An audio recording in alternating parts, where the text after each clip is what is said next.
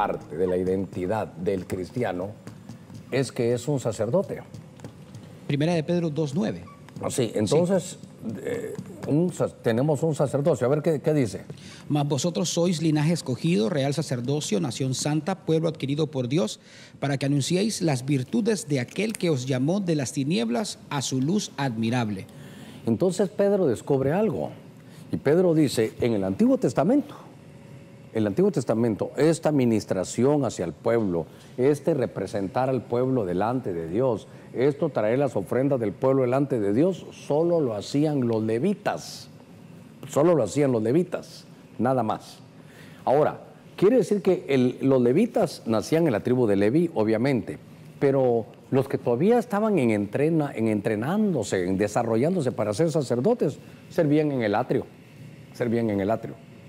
Pero había sacerdotes que luego cruzaban la frontera y ya estaban en el lugar santo. Por eso es que cuando hablamos del lugar santo, dice que el candelero es la iglesia. Entonces notemos, tenemos que ver esto que es importante, que si el candelero es la iglesia, eh, el candelero estaba cubierto, tenía cobertura. La iglesia que es candelero tiene que estar bajo cobertura. Y que entonces aquí hay un sacerdocio de todo el pueblo, pero los que hemos entendido como Pedro, entramos ya a este sacerdocio y solo el sacerdote tenía acceso al lugar, al lugar santo. Pero eso, eso era nada más el sacerdocio levítico. Pero cuando se habla ya en Pedro, Pedro dice, vosotros sois real sacerdocio, pero ¿cómo si nosotros ni siquiera somos de Israel? Nosotros nacimos en otros diferentes países, somos gentiles. Pero en el Nuevo Testamento entonces ahora estamos bajo el sacerdocio de Melquisedec. Ahora, vamos a ir con esto, muy importante. Ah, buscate, por favor, un pasaje donde está bautizándose Jesús. Tiene que ser en, en Lucas 3 o Mateo capítulo 3, donde están en el Jordán. Entonces, aquí hay, para mí, aquí hay una escena muy hermosa, hay una escena maravillosa. Lo tengo. Es una escena, dijera yo, del relevo sacerdotal. A ver, léetelo en lo que yo escribo aquí. Eh, bueno, eh, ya la parte donde ahí en el Jordán eh, le- la gente la gente confesaba sus pecados y Juan los bautizaba. Cuando él vio que muchos de los fariseos y de saduceos, bueno, le empieza a decir generación de víboras, ¿quién les enseñó a huir la venidera? Es el momento en el de Cristo, ¿verdad? sí, yo quiero cuando están los dos. Mateo 3:13. Ok. Jesús fue de Galilea al Jordán donde estaba Juan para ser bautizado por él. Pero Juan se le oponía diciendo, yo necesito ser bautizado por ti y tú vienes a mí. Ok. Entonces, yo quiero llevarlo a esto. Déjeme ver este ángulo.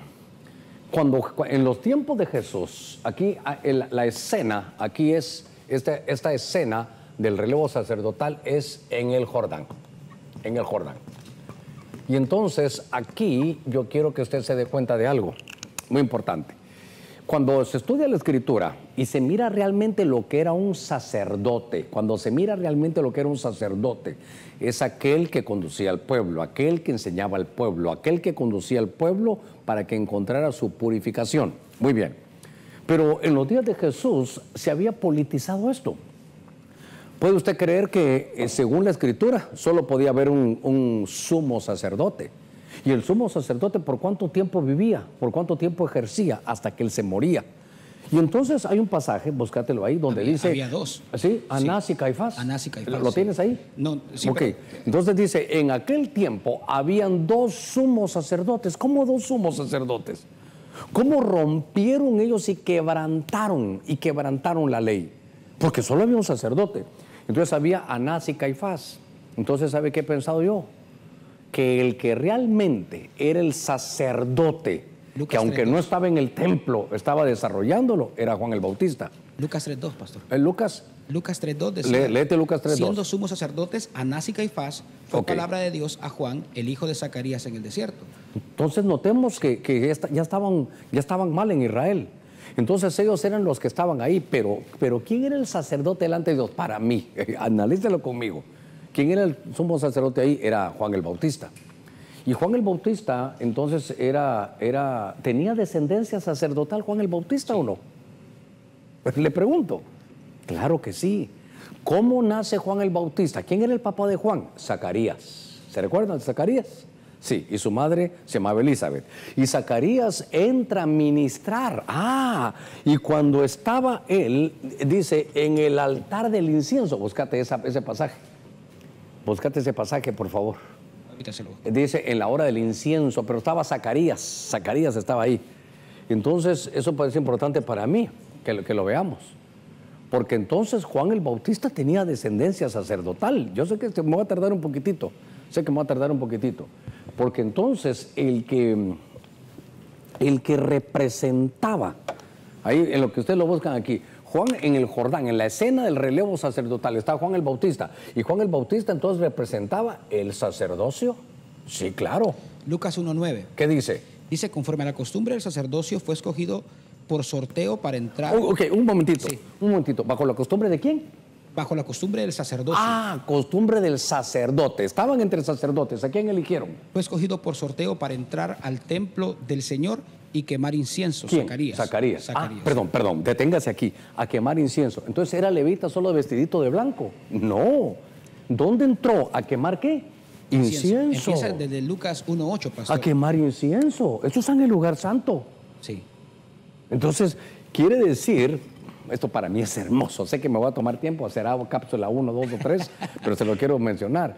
Entonces Juan el Bautista era de la descendencia sacerdotal.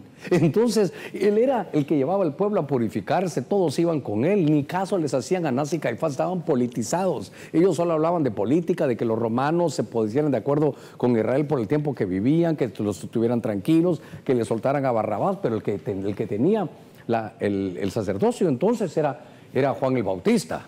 Y por otro lado, búscame que Jesús es sacerdote del orden de Melquisedec, ¿dónde lo dice? Búscatelo. Entonces, perdón, el sacerdocio levítico, lo que me leíste de, Zacarías, ¿dónde estaba? En Lucas 1.8. En Lucas 1.8. Pero aconteció que mientras Zacarías ejercía su ministerio sacerdotal. Está bien, está bien. Sí, 1.8. Ahora, búscate donde, en Hebreos, donde dice que Jesús. Sí, es en eh, Hebreos 7. ¿Qué dice? Ya se lo comparto sacerdocio. Ok. Aquí también tiene a manera de sacerdote, aquí está Hebreo 7, Cristo el sumo sacerdote, allá está... Pero ¿dónde dice del orden de Melquisedec? Ok. Entonces, ¿cómo? 720. 720. Sí, 620. 620. Léetelo ahí entonces en lo que lo tienen aquí. Aquí lo tengo ya. Eh, dice, donde Jesús entró por nosotros como precursor, hecho sumo sacerdote para siempre según el orden de Melquisedec. entonces ahora, entonces ahora venga conmigo a la escena. Está Juan, yo voy a ser Juan, y vos Jesús. Entonces, está aquí, yo soy...